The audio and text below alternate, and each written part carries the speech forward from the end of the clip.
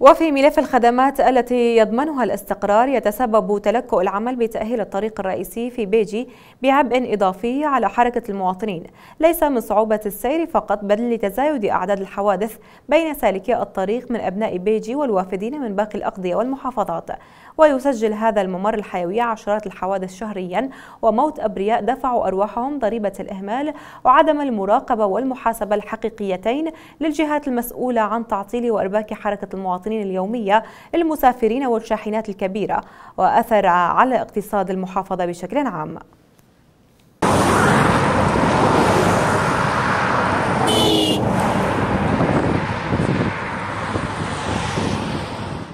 معاناة الشارع الرئيسي لقضاء بيجي. طبعا هذا الشارع ما نعبره إذا ما نقرأ المعوذات. أكثر من عشرين حادث شهريا بهذا الشارع. أرواح تزهق ناس تخسر أموالها وسياراتها وأرواحها بسبب هذا الشارع. يعني قبل يومين آه، حادث آه، المواطنين من محافظة نينوى أدى الحادث إلى وفاة شخص وجرح البقية. يعني سبب هذا الشارع التلكؤ اللي فيه وأكو عندنا لوحة ورانا تقرأ 211 يوم أي سبعة أشهر.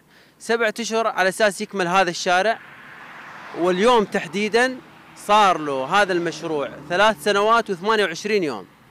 بهاي الثلاث سنوات ما قدرت الحكومة إنه تبلط شارع سبعة كيلو. هسه تشوفون الرونج سايد ذهاب وأياب وحوادث مستمرة وحوادث يعني بالجملة بالجملة. أرواح تزهق لا الحكومة المحلية حركت ساكن ولا الحكومة المركزية حركت ساكن. نتأمل من دولة رئيس الوزراء محمد الشاع السوداني أن يزور هذه المدينة المنكوبة ويطلع على المشاريع اللي بيها والمشاريع المتلكئة اللي بيها.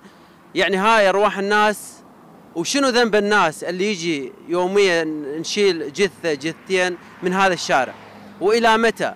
شارع بتلكؤ كبير ثلاث سنوات و28 يوم ويوميا العمل استمر العمل توقف ولحد الآن عمل آه، خجول جدا نتمنى أنه تكون هناك زيارات لقضاء بيجي من المسؤولين وقفة جادة حتى تنتهي هذه المعاناة ونشوف شوارع أجمل لهذه المدينة المنكوبة اولا في البداية نشكر منبر المواطنين في محافظة صلاح الدين هذه القناة التي تتابع المشاريع المتلكئة التي لم تنجز في هذا القضاء نهائيا.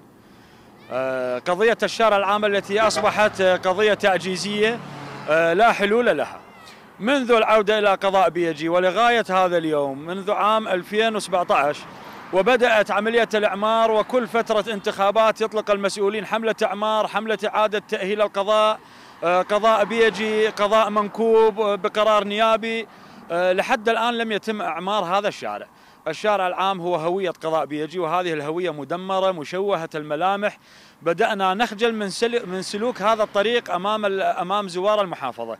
طريق يربط بين محافظة بغداد ودول الجوار وبين المحافظات الشمالية طريق متلكئ البيجي مدمرة بالكامل. الشارع العام مدمر جسر الفتحة مدمر الدوائر الخدمية مدمرة. نعم هنالك مرحلة مرت في إعمار القضاء ولكن مرحلة خجولة لا ترتقي إلى مستوى إلى مستوى إعمار القضاء ومستوى الضرر الذي لحق في القضاء.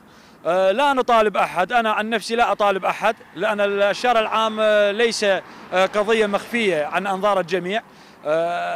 كل إنسان صاحب ضمير حي كل مسؤول كل ناشط كل شيخ عشيرة كل رجل دين يجب أن يتناول وينقد نقد بناء هذا التلكؤ وسرقة المال العام والتلاعب بأرواح العالم. يوميا نص آه، تصبح قضاء بيجي على حوادث آه، سير مؤلمة لا حلول لها. قاطع المرور في بيجي لم يعد بإمكانه أن يسيطر على هذه الحوادث بسبب سوء الطريق وزخم الطريق وزخم السيارات في هذه المنطقة. أطالب أنا عن نفسي أطالب القضاء العراقي فقط آه، أن يجد حل في محاسبة المتلكئين آه، وسراق المال العام إن وجدوا حتى لا يكون استهداف عن طريق القنوات. آه، أما قضية الشارع فإلى الله المشتكى. القضاء العراقي هو الوحيد هيئة النزاحة هي الوحيدة. كلنا أمل أن يكون القضاء هو الحل الوحيد في إنصاف أهالي قضاء بيجي.